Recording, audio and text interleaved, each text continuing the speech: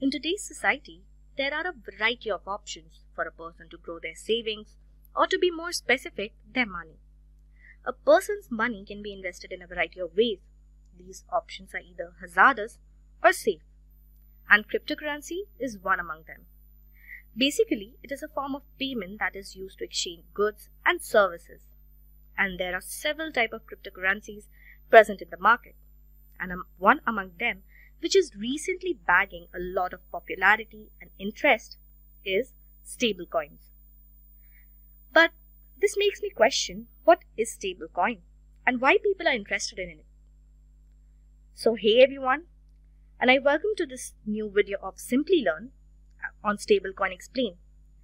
In this video, I'll take you through every answer to your questions on stablecoins. So without doing any further delay, let's get started. But before moving ahead, please do subscribe to our YouTube channel and do hit the bell icon to never miss an update from Simplilearn. So moving on, let me give you an overview of all the topics you are going to cover across in this video. First, we will understand the basics and explore what is stablecoins. Following that, we will look into the types of stablecoins.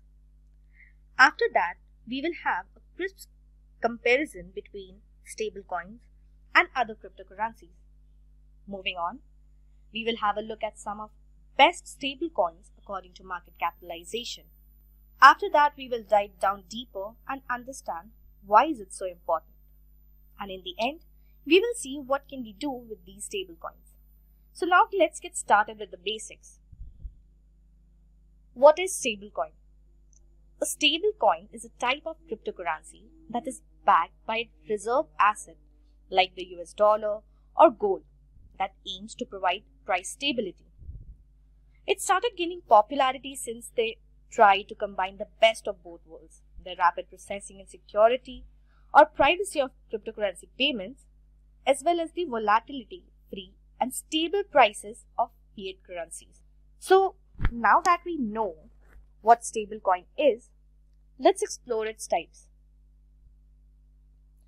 The first one that we are going to understand is fiat collateralized stablecoins. It uses a fiat currency reserve, such as the US dollar, to issue a sufficient number of crypto dollar. To other types of collateral include precious metals such as gold and silver, as well as commodities such as oil. But the majority of today's fiat collateralized stablecoins use dollar reserves.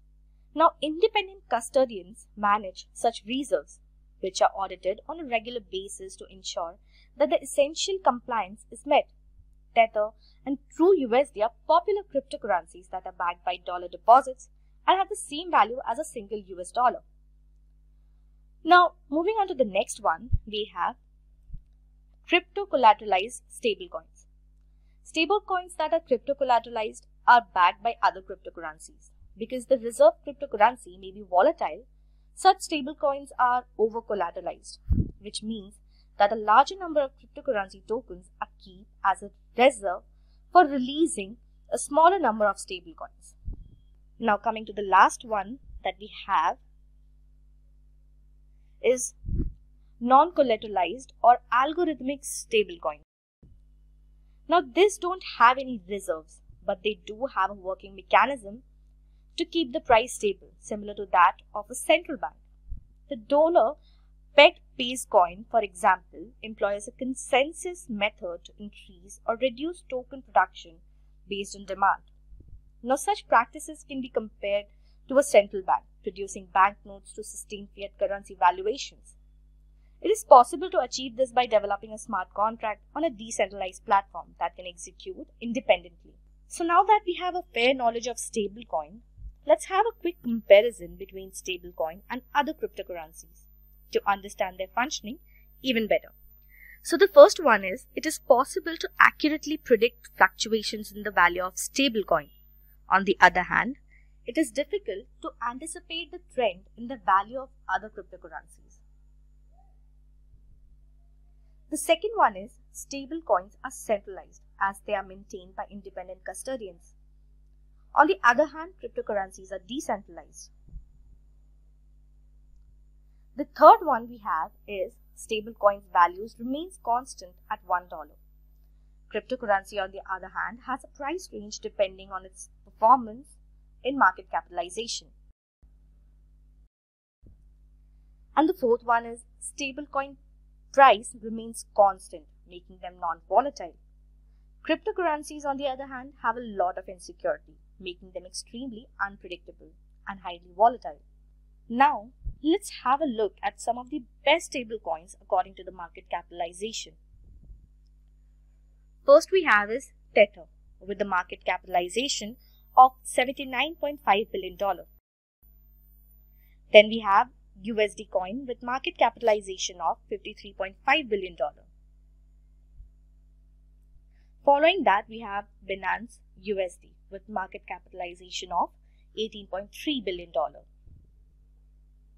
Then we have Terra USD with a market capitalization of 13 billion. Then we have DAI with market capitalization of $9.7 billion.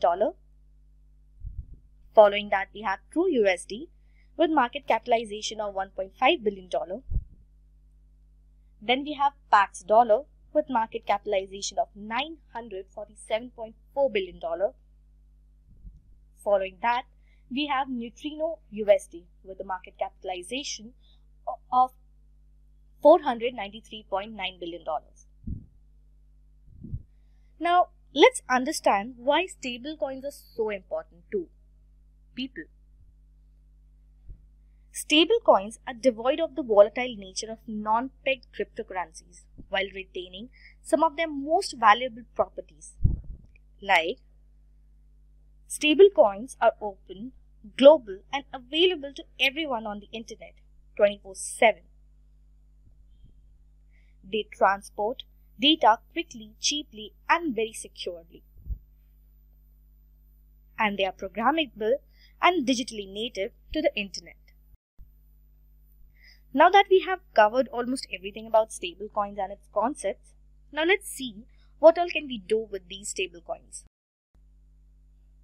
First is cryptocurrencies like Bitcoin and Ether have a lot of volatility, sometimes even by the minute. Buyers and sellers can have confidence that the value of their tokens will neither grow nor fall unpredictably in the near future if the asset is linked to a more stable currency, or say stablecoins. The second one is stablecoins can be held without a bank account and are simple to transfer. The value of stablecoins may be easily moved around the world, even to countries where the US dollar is difficult to come by or where the local currency is volatile. Coming to the third one is there are several simple ways to earn income on a stablecoin investment, which is often higher than what a bank would offer.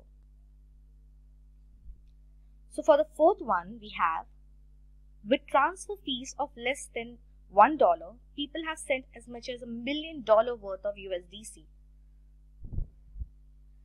And the fifth, the last one is stablecoins like USDC is a wonderful alternative for transporting money around the world because of their quick processing and cheap transaction fees. So well, this was all about stablecoins. I hope you enjoyed this video and learned something new from it. If you have any questions, please feel free to ask them in the comment section. Our team will reach out to you soon. Thank you.